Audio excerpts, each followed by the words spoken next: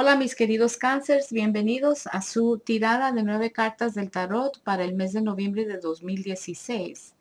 Entrando a su lectura, ustedes tienen el, la luna y luego tienen el ocho de bastos, luego tienen dos de copas.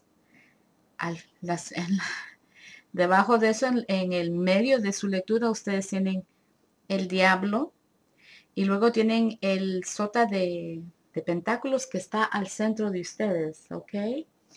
Y al otro lado tienen al rey de, bastos.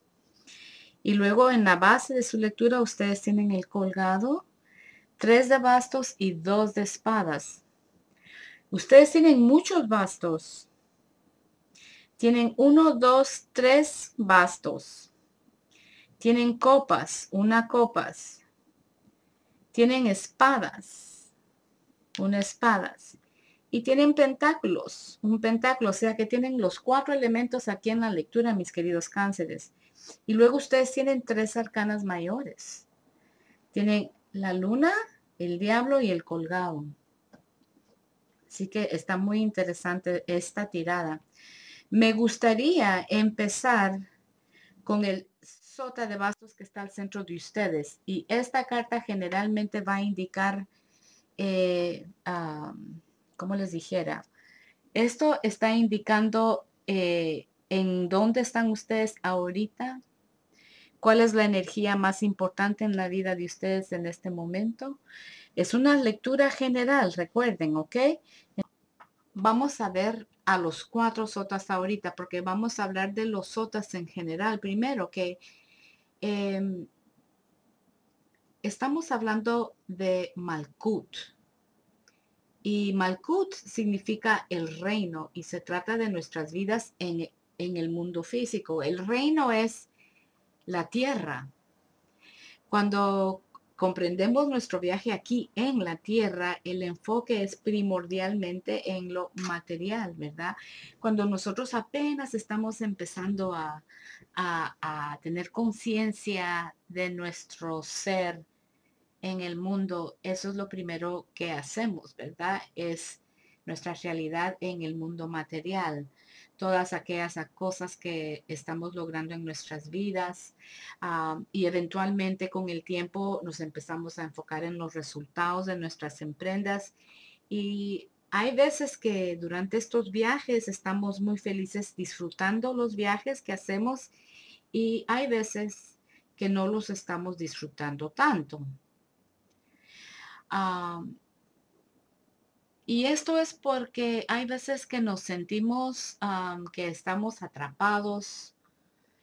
Por ejemplo, ah, la pasamos solo trabajando o cuando estamos ya solo estudiando y trabajar y estudiar y, y, se siente uno a veces como que atrapado y ah, ya no estamos encontrando la felicidad o la abundancia en las cosas que estamos haciendo. Entonces, Malkut significa esto precisamente, significa cuando nos, estamos sintiendo así, como inercios, sentimos apatía, estamos como atrapados sin poder tomar acción y nos estamos ah, diciendo, pero sé que hay más a la vida, sé que hay más a mi vida. Tiene que haber más. Entonces, ¿qué está pasando, verdad? Yo quiero tener más alegría, más satisfacción en mi vida, quiero sentirme con energía. Entonces, todos los cuatro de sotas del tarot son ese sentimiento de Malkut. Y puede ser que ustedes ahorita, como está en el centro de sus cartas y regresamos a la lectura, puede ser que ustedes se están sintiendo como que atrapados y estoy viendo algunas cartas que tal vez me verifican eso, porque ustedes tienen el 9 de bastos, ustedes tienen el 2 de espadas, y luego en las arcanas mayores ustedes tienen el colgado y el diablo. Entonces yo creo que tal vez lo que este centro está diciendo precisamente es que puede ser que ustedes están sintiendo así como Malkut, ¿verdad? que qué más hay en esta vida, como que un poco atrapado sin poder tomar acción, ¿verdad? Y, te, y entonces las sotas, cuando te salen las sotas, te están pidiendo um, que examines tu vida. ¿Qué has criado en tu vida hasta este punto? Te está diciendo que tomes inventario de tu vida. ¿En dónde quieres ver que entren más cosas en tu vida? ¿En qué áreas? O sea, toma inventario. Si puedes visualizar tu vida en este momento, ¿cómo lo, cómo lo visualizarías? ¿Verdad? Y regresando en el enfoque de esta carta, que es el sota de pentáculos, te está diciendo que estos son excelentes lugares para empezar tu búsqueda. A la misma vez, es buen tiempo ah, también para fijar qué cosas del pasado hay que dejar ir, ¿verdad? Y qué cosas te vas a quedar con ellas. O sea, qué aspectos de tu vida cuando hagas ese inventario las vas a retener y cuáles las vas a descargar, ¿verdad? Porque ya no te están dando ninguna utilidad, ningún servicio y cosas, te digo, puede ser situaciones, ah, trabajos, personas, eh, situaciones eh, eh, con, con, personas, o sea, puede significar básicamente cualquier cosa, un proyecto, eso es lo que eso significa. Ahora, el pentáculo, el sota de pentáculos. Ah, bueno, antes de entrar a eso, los sotas, aquí están viendo esta imagen de los cuatro sotas. Tenemos los cuatro sotas. Entonces, en esta imagen vemos los cuatro sotas. Ahora, los sotas significan tierra, pero ustedes pueden ver que está el sota de copas, el sota de bastos, sota de pentáculos y sota de espadas. Bueno, el sota de copas es agua, ¿verdad? Porque lleva copas. Entonces, ese sota es tierra con agua. Porque hay ciertos elementos que nosotros tal vez eh, sentimos más, uh, como les dijera, sentimos más, nos sentimos más afines a ciertos elementos. El sota de copas es agua con tierra. El sota de bastos es fuego con tierra. El sota de pentáculos, que es el que ustedes tienen, es tierra con tierra. Y el sota de espadas es tierra con aire. Y eso es lo que esto en particular significa este, esta imagen de los cuatro sotas.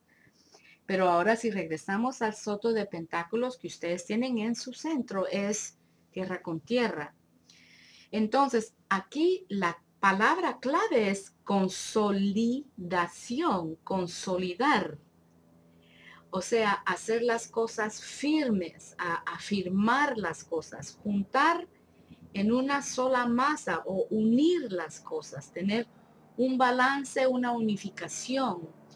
Todos los pentáculos rigen el cuerpo con todas las cosas materiales, ¿verdad? Pero este sota representa las condiciones que has creado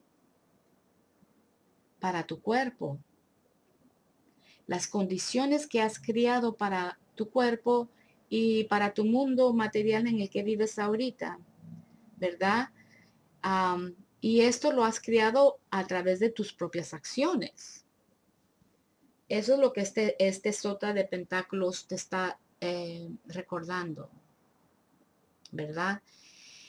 Representa las condiciones que has creado con tu cuerpo y, la, y todo lo que te está rodeando ahorita, ¿verdad? A través de tus propias acciones.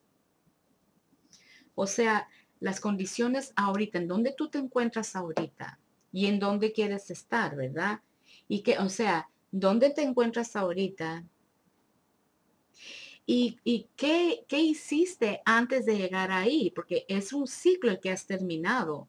En este último ciclo que tú terminaste, ¿qué acciones hiciste para llegar a donde tú estás ahorita en este momento?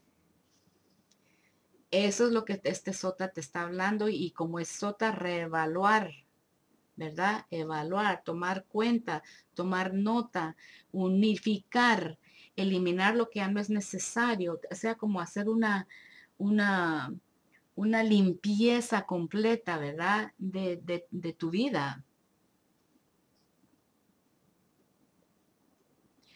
Porque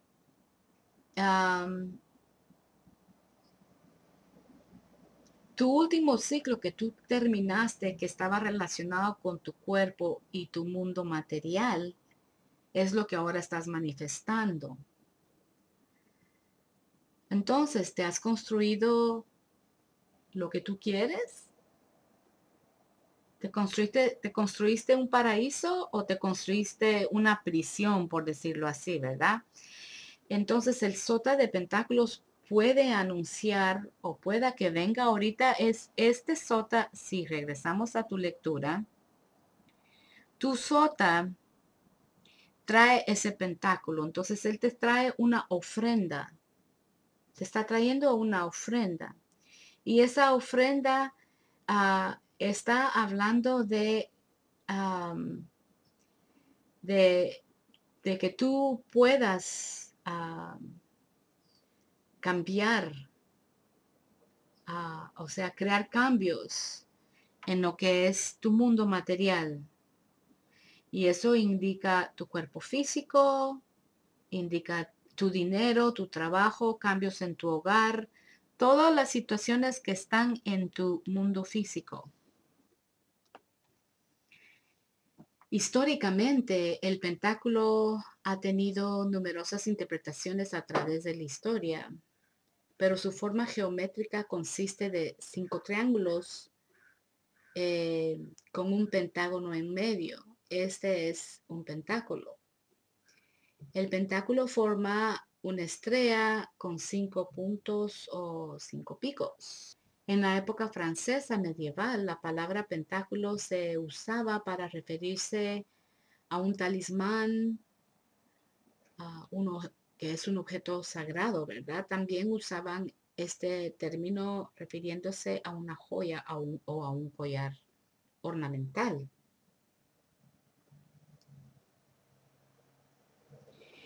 El pentáculo que está en estas cartas del tarot, ah, que estas son las de Rider Waite Smith, um, en esta imagen en particular que aquí la pueden ver, el pentáculo viene rodeado por un círculo, simbolizando un espacio sagrado independiente. Y si regresamos a la lectura de ustedes, está al centro de ustedes. Muy poderosa esta carta. ¿Ok? Y yo sé que les llaman ah, monedas o oros. Aquí les llaman eh, oros, ¿verdad? Sota de oros. Con las cartas que yo tengo que son publicadas en Sevilla. ¿Verdad? Ah, voy a acercarlo un poquito más para que la puedan ver. Ahí está, ¿ve? sota de oros, pero a mí me gusta decirles pentáculos. Entonces, cuando digo pentáculos, estoy hablando de este pentáculo y su contexto histórico, que es lo que a mí me llama la atención mucho. Y por eso ahí, ahí lo tenemos. Ah, y eso es lo que tienen ustedes a su centro, mis queridos amigos y amigas. Ah, luego, entrando a su lectura, ustedes tienen la luna. Y esta luna es una arcana mayor y es la número, vamos a ver, 15, 16, 17 es la número 18 de las arcanas mayores. Entonces vamos a ver ah, qué es lo que esta carta tiene que decirnos, pero así que la voy a enfocar.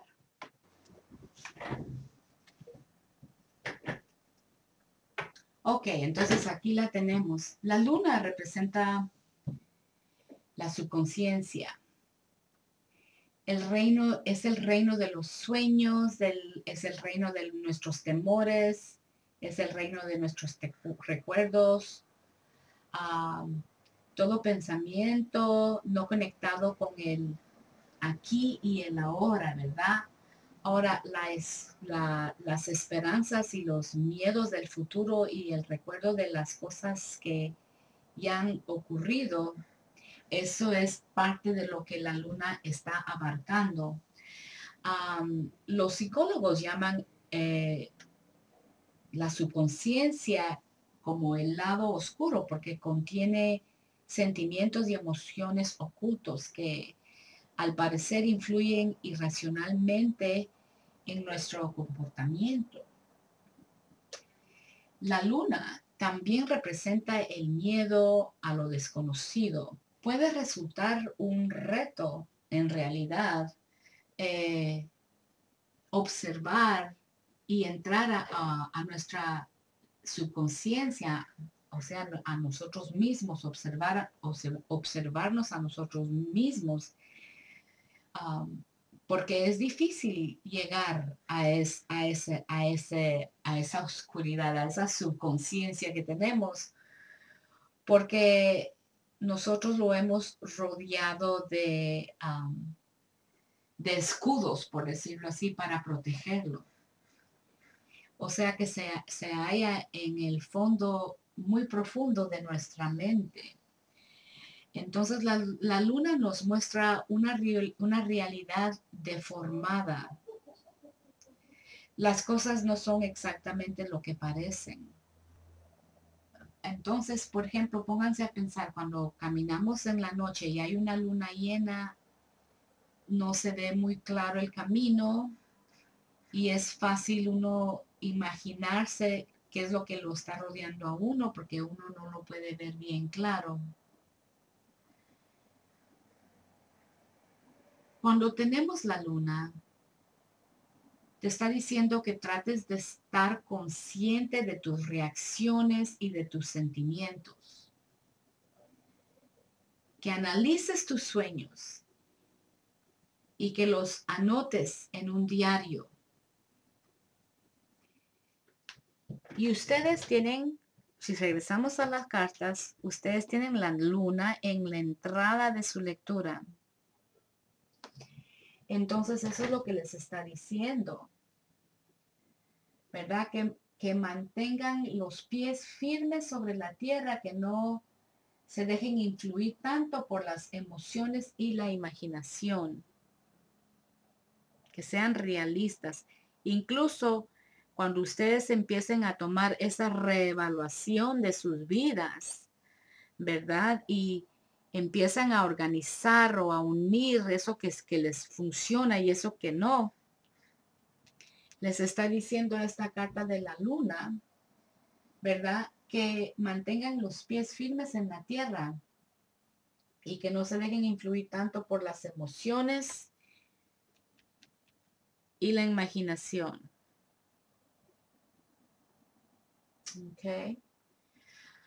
Ah, que también uh, aprendan a reconocer y a,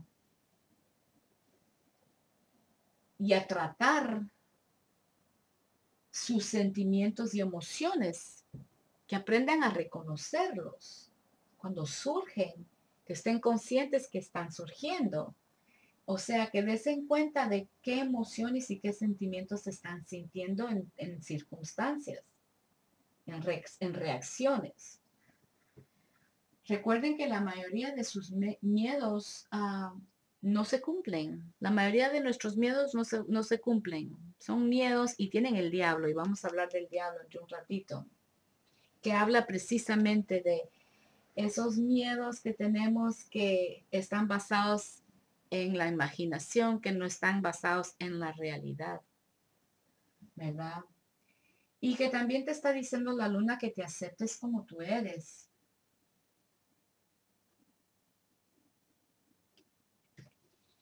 Y esos son los consejos de la luna.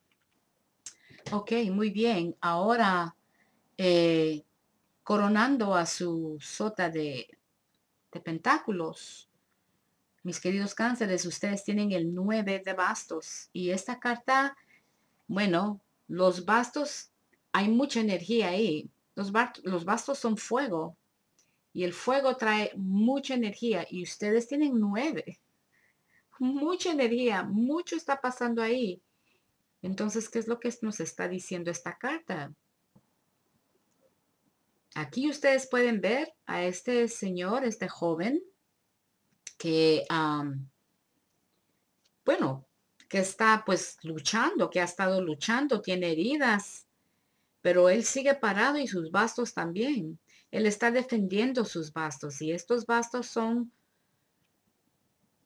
diferentes cosas que él ha logrado o criterios, a sistemas de valores que él protege, proyectos que él está protegiendo. Ah, puede significar cualquier cosa que, que se está protegiendo, que se está luchando por. Entonces son nueve. Eh, aquí entonces estamos viendo heridas y luchas. Y él está a la defensiva. Pero también a la misma vez, si ustedes miran su expresión, está como cansado, tal vez hasta un poco harto, ¿verdad? De tener que estarse defendiendo constantemente, de estar defendiendo sus bastos, defendiéndose constantemente. Es una pelea constante. Las cosas no han salido bien para, para él últimamente a pesar de tanta lucha, tanta defensa. O puede ser que anda un poco frustrado con una situación o con alguien que tal vez se, se, ha invertido mucha energía ahí en esa situación o con esa persona y todavía, eh, y, todavía las cosas no, no han mejorado para él. Entonces eso es lo que a ustedes les está saliendo y está coronando su centro que es el sota de pentáculos.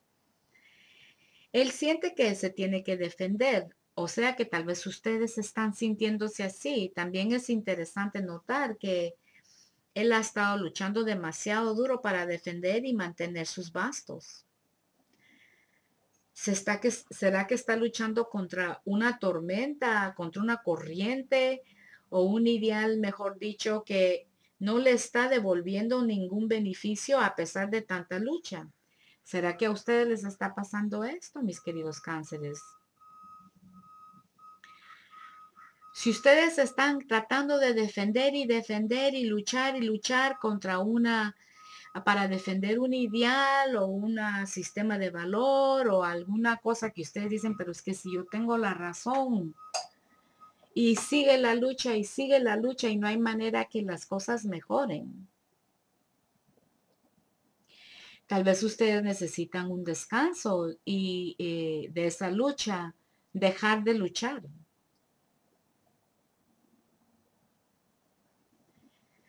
O tal vez ustedes están sintiendo que vale la pena seguir con esta lucha. Las luchas hay veces que tienen sentido y hay veces que no, ¿verdad? Depende. Depende eh, el objetivo al final que uno quiere. Si, si, te está si está tomando mucha energía, mantener la lucha, mantener seguir con sí, que sí, así es, que así es, pero no está cambiando la opinión de nadie, no está cambiando nada. tal vez hay que dejarla ir. Entonces, esta carta les está diciendo que piensen con sinceridad. Si tanta lucha por esa cosa realmente vale la pena. También piensen, mis queridos cáncer, si es tiempo de tal vez evaluar la situación de nuevo. Porque si después de tanto luchar, ves que ya es demasiada energía la que estás usando, realmente vale la pena seguir con esa lucha, con esa, ¿verdad? Con, con ese imbalance. Entonces hay que estudiar la situación de nuevo y considerar otra estrategia para manejar la situación sin tener que luchar tanto. ¿Ok? Y eso es lo que esta carta les está diciendo. Ah, siguiendo a su nueve de bastos, ustedes tienen el dos de copas. Y con el dos de copas, aquí ustedes pueden ver, la voy a, la voy a acercar para que la puedan ver mejor. Pero aquí ustedes pueden ver a dos personas, un hombre y una mujer, y como que están formando un contrato entre los dos de amistad y respeto. Ah, con esta carta tenemos varias, varios símbolos importantes. Primero, eh, tenemos la barra de Hermes, la varita de Hermes, que es la, la varita así que, que está así paradita en medio de las copas, que va para arriba. En la mitología griega o greca, greca egipcia para ser más, más específica, Hermes uh, Trismegistus. Se cree que fue el autor de Corpus Hermético, una serie de textos sagrados que son la base del hermetismo.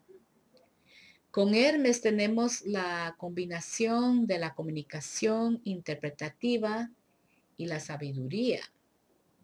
La barra de Hermes también representa salud y alivio y también representa el divino poder. Las dos serpientes de Kundalini se envuelven en la, en la barra de Hermes y representan las energías que suben por la columna, columna vertebral y los centros de nuestros chakras. Y chakras son ah, energías, ¿verdad? Tenemos, creo que son siete las chakras que tenemos en el cuerpo. Ahora, el rión, eh, el, el rión, el león rojo que tiene alas que está en la parte de arriba de esta carta, ¿verdad? Coronando a toda la escena que está ahí. Ese león rojo eh, es el símbolo eh, egipcio del sol. Así es como ellos representaban el sol todo esto nos comunica que cuando dos personas se unen, donde las dos serpientes representan energía de Kundulini, se juntan esas energías, las energías, o sea, femenina y la energía masculina, creando un, ah, creando un lindo color como la luz del sol, el, lumbre del sol, por decirlo así. Una carta muy, esta carta es muy positiva porque demuestra cómo dos personas se pueden unir a un nivel muy espiritual para crear algo poderoso. Ahora, en el fondo de esta carta, ahí ah, podemos ver unas colinas y también vemos una casa blanca con su techo rojo. Y si ustedes miran la carta del 10 de copas, es la misma carta, es la misma casa, la misma escena que vemos en esta carta. O sea que las dos de copas lo estamos viendo de lejos, ¿verdad? Pero con el 10 de copas ya estás ahí, posiblemente, pero ya con niños. Eso es, esa es una, una, una cosa muy linda de esa, porque aquí estás con el 2 de copas, si regresamos a tu tirada, o sea que estás empezando a poder tomar o a poder llevar esos contratos de amor, responsabilidad, respeto, deseo, o sea, comprender todo lo que involucra realmente unirse tener esa unificación. El dos de copas entonces es ah, la promesa de unir y, de reproducir, de unir y procrear, de crear, ah, de, o tal vez de recrearnos. Ah, también nuevos principios, empezar esos o crear nuevos principios a crear una nueva vida. O sea, crear nuevos humanos tal vez, con una unión sagrada, por decirlo así, ¿verdad? Ah, una carta muy linda. Y eso es lo que esa carta está significando. Entonces, a ustedes, coronando su lectura, ok, hay varias cosas que están pasando aquí, ¿verdad? Ok, aquí te están ofreciendo nueva energía, nuevas posibilidades. Fijarse, fijarse uno bien en la vida que uno tiene ahorita y unirla, o sea, dejar ir lo que no es necesario y, y, quedarse uno con lo que realmente es útil en la vida de uno y lo que no es útil, dejarlo ir. Luego tienen la luna que está diciendo que mantengan los pies firmes en la tierra, que sean realistas, que pueda ser que no están viendo la situación muy bien o muy en un bajo ojos realistas, ¿verdad? Mente realista. Luego tienen ustedes el 9 de bastos, donde están luchando y luchando, tratando de que la, que la gente comprenda cierta cosa o que tú estás firme de que esto tiene que ser así y lo estás luchando y luchando y te está diciendo que tal vez es hora de dejarlo ir. Depende, ¿verdad? Tú decides, pero si es algo bien importante y vale la lucha, pues vale la lucha. Y luego tienen esta promesa. Les está prometiendo eso y a la, abajo tienen a la reina de bastos y aquí abajo de la luna tienen al diablo muy significativas estas dos cartas que tienen ustedes aquí. Y el diablo, uh, este diablo, ¿verdad? Eh, bueno, tiene que ver con los demonios, obviamente. Y no hay que asustarse mucho cuando hablamos de demonios, porque no es lo que pensamos o no es lo que nos han enseñado a pensar de demonios en nuestro viaje hacia la iluminación tenemos que reconocer y enfrentarnos a nuestros propios demonios. O sea, los demonios están dentro de nosotros mismos y les voy a explicar por qué. Enfrentarnos a nuestros propios demonios, porque este es un paso esencial antes de llegar a la iluminación total a la transformación de tu ser espiritualmente. O sea, iluminado. Tenés que pasar por esta transformación para tener la iluminación. ¿Y qué es la iluminación? Ya no estás bajo la luz de la luna. La iluminación es donde podés ver las verdades. Ves la luz. Entonces, pero para poder ver esa luz, tienes que enfrentarte a tus demonios, a tu lado oscuro. Lo mismo que te estaba diciendo, lo que dicen los bastos, ¿verdad? Ah, ver esas partes que son negativas. El diablo nos atrapa, pero es el atrapamiento que nosotros nos hacemos a nosotros mismos. Bueno, y ustedes están diciendo, pero ¿cómo es eso posible que yo me esté atrapando yo misma por mi cuenta? Bueno, cuando tienes este lado oscuro, oscuro dentro de ti, este lado oscuro en el cual tú luchas contra, contra él para liberarte, donde tratas de rechazarlo, ¿me entiendes? O sea, tenés ese lado negativo, ese lado oscuro y lo oscuro y lo rechazas, tratas de liberarte, o sea, tratas de escaparte. O sea, tú estás luchando contigo misma o contigo mismo. Porque ese demonio es tuyo, está dentro de ti, pero tú rehusas verlo, tú rehusas reconocer que eso está ahí, lo ignoras, pretendes de que no existe. Y déjenme decirles, todos hemos pasado por eso. O sea, nadie, todos pasamos por eso. Hasta Jesús encontró el diablo en el, a su diablo en el desierto. ¿Ok? Todos tenemos esos aspectos negativos en nuestro ser, esos lados oscuros. Tenemos nuestros demonios. ¿verdad? La lección aquí con el diablo es reconocer que nosotros mismos creamos nuestros demonios. Y tú piensas, pero ¿cómo es posible que yo estoy criando este demonio? Bueno, ellos son de nuestra propia creación, con nuestros pensamientos.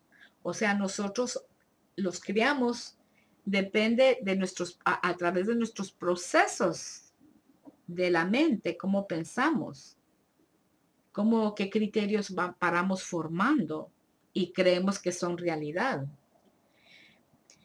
O sea que esos demonios son de nuestra propia creación con nuestros ah, pensamientos a través de la traves psicológicos, traves mentales ¿verdad? O apariencias físicas o traves físicos. O sea, puede haber un montón de razones por las cuales nosotros estamos criando estos demonios adentro de nosotros. La cosa es que cualquier cosa que tenemos, que le, ah, o sea, cualquier cosa que tememos, ¿verdad? Que le tenemos temor. Paramos criando una realidad nueva sobre ese temor.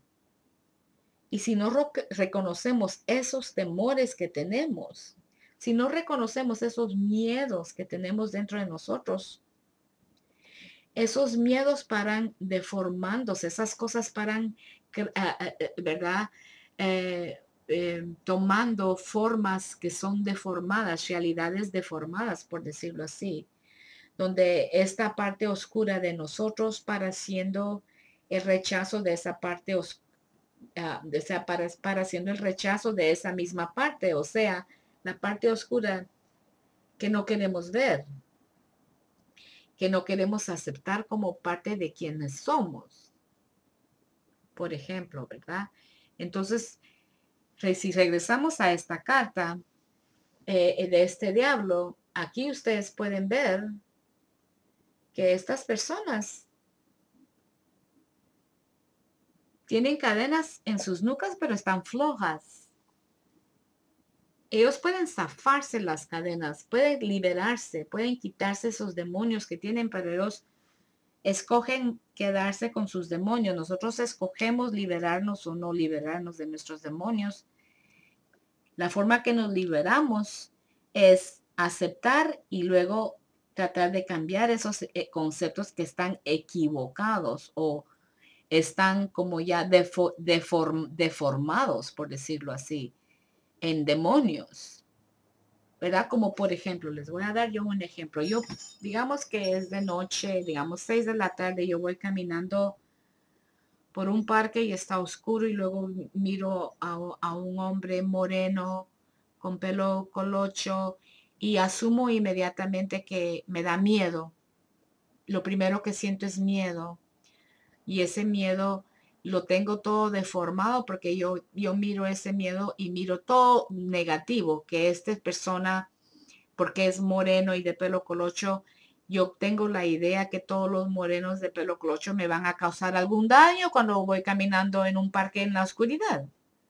Y entonces tengo miedo y entonces ya no, ya no salgo al parque en una noche linda cuando hay luna llena porque tengo miedo, porque tengo ideas equivocadas eh, estereotipos de, personas que no son correctas, que no son verdad, que no están basadas en ninguna realidad, porque un hombre moreno con pelo colocho jamás me ha hecho ningún daño.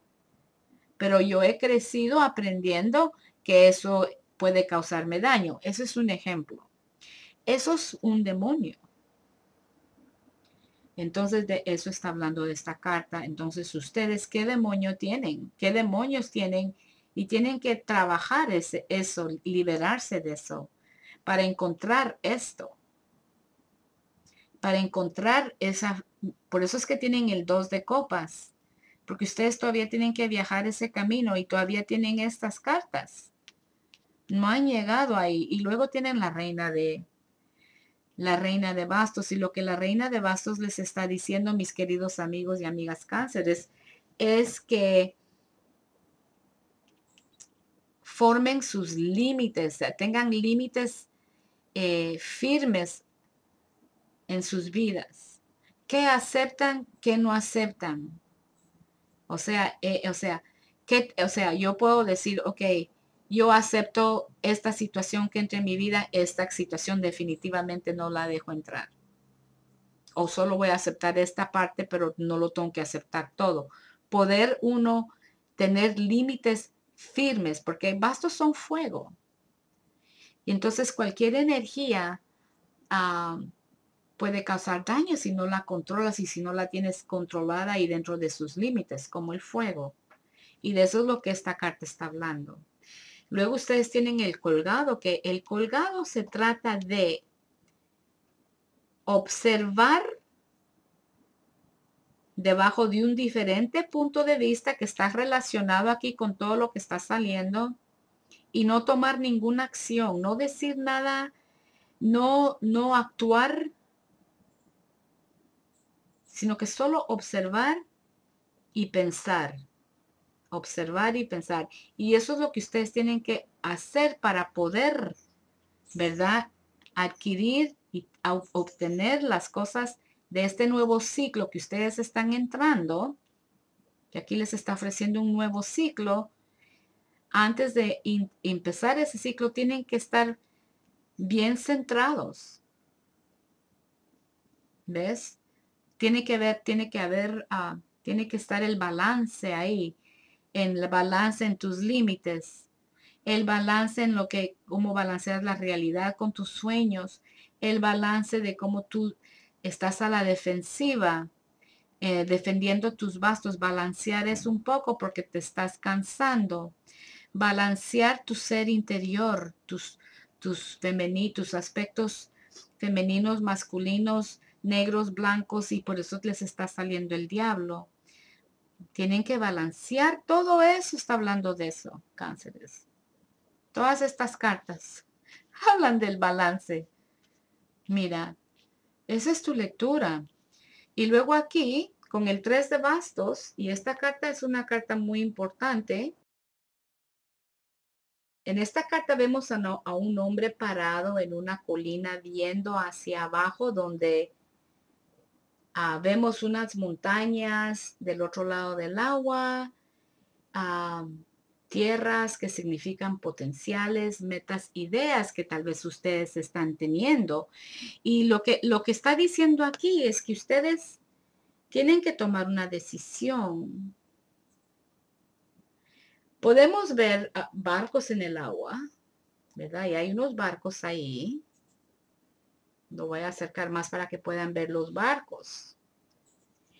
Y luego con su mano derecha él detiene un basto. Los otros bastos que están firmemente puestos en la tierra están detrás de él. Esta persona ha tenido éxito en el pasado. Cánceres, ustedes han tenido éxito en el pasado en las cosas que ustedes han hecho. ¿Verdad? Han, han usado han utilizado mucha energía y han tenido éxito. Y puede ser, bueno, nosotros pasamos por muchos ciclos en la vida, ¿verdad? Cada vez que aprendemos o emprendemos en algo nuevo es un nuevo ciclo. Ustedes tienen experiencia. Saben cómo llegar a donde quieren ir, cómo llegar a sus metas que están ahí a lo lejos. O sea que ustedes pueden ver su meta muy claramente ya saben qué es lo que quiere. O sea, esa es la promesa si regresamos a las cartas. Y la verdad que está, ¿verdad? En la base de su, de su uh, sota. Les está prometiendo a ustedes que ustedes van a llegar a este punto donde van a poder lanzarse a esa meta que ustedes ya tienen bien clara en su mente, ¿verdad? Ya saben, ya van a saber exactamente qué es lo que ustedes van a querer hacer cuando terminan de hacer todo este trabajo que esta carta les habló. Y si no se recuerdan, van a tener que regresar y escucharla, ¿ok? El basto que él tiene en su mano derecha, si regresamos a esta carta, nos demuestra que ya tiene una idea.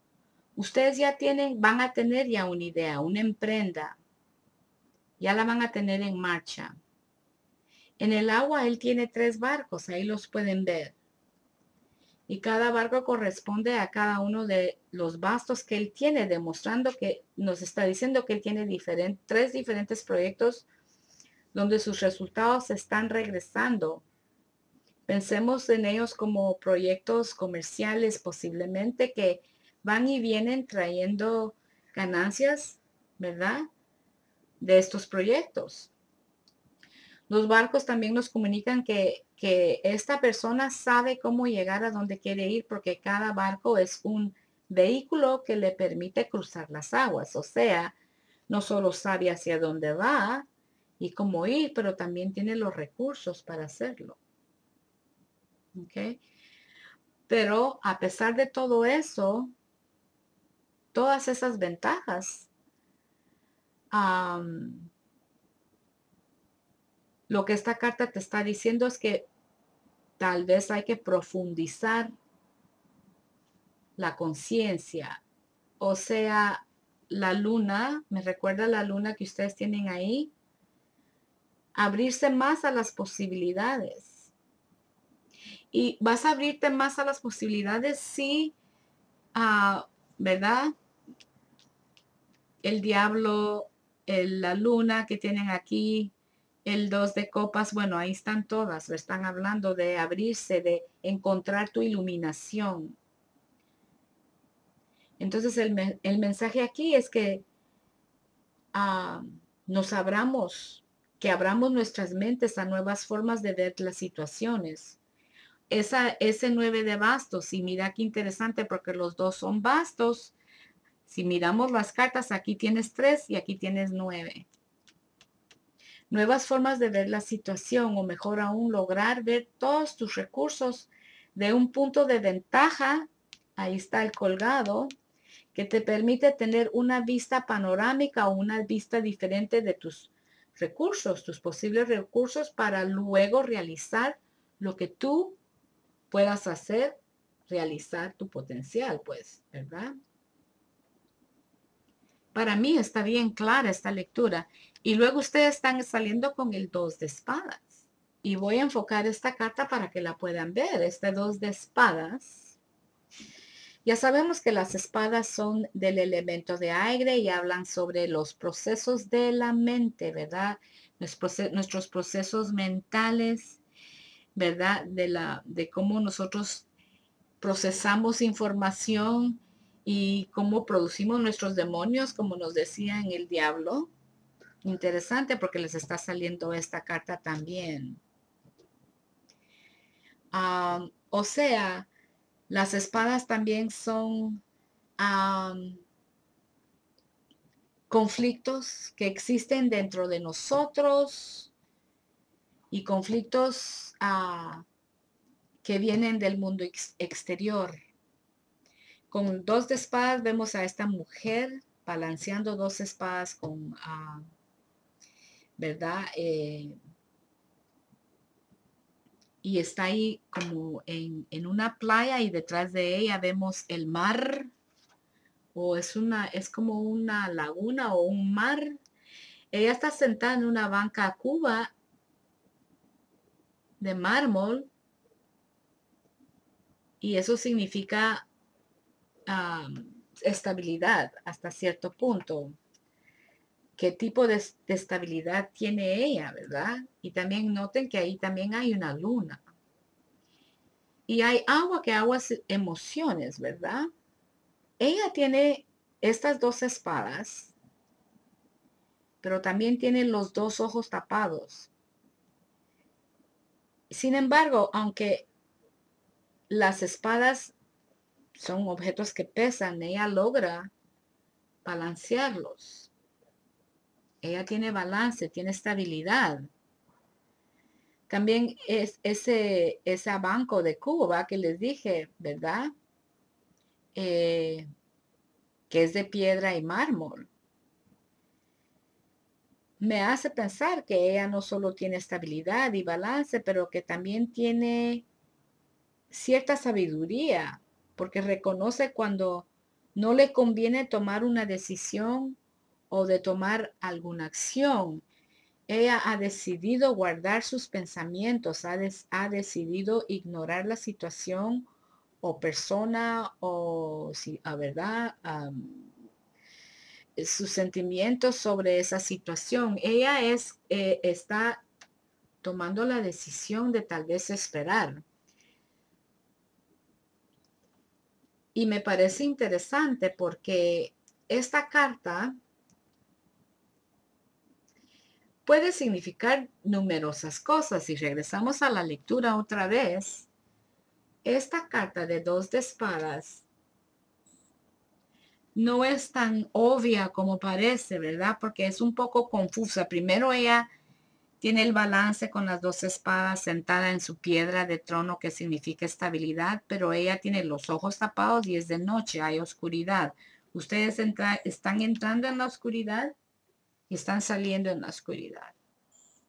Están entrando sin poder ver muy bien y están saliendo sin querer ver. No quieren ver. Entonces, puede ser que tal vez esta lectura, y es una lectura general, pero lo que estoy diciendo es que puede ser que hay algunos aspectos de esta lectura que tal vez ustedes les, no les va a gustar, no se van a sentir cómodos con la idea, no van a, y nuestros demonios nada que ver, ¿verdad? Y, y no quieren tal vez, tienen cierta estabilidad, pero tal vez hay ciertos aspectos, ¿verdad? Estoy pensando aquí y aquí tal vez que ustedes tal vez no quieren, ¿verdad? Pensar en eso, tomar cuenta, quieren esto, todos queremos esto, ¿verdad? Pero está costando, entonces yo creo que va a ser interesante ah, cómo ustedes se manejan aquí con, estas, con esta situación. Ok, mis queridos cánceres, ahí tienen ustedes su lectura para noviembre. Les deseo un buen mes tranquilo y nos vemos en diciembre. Chao.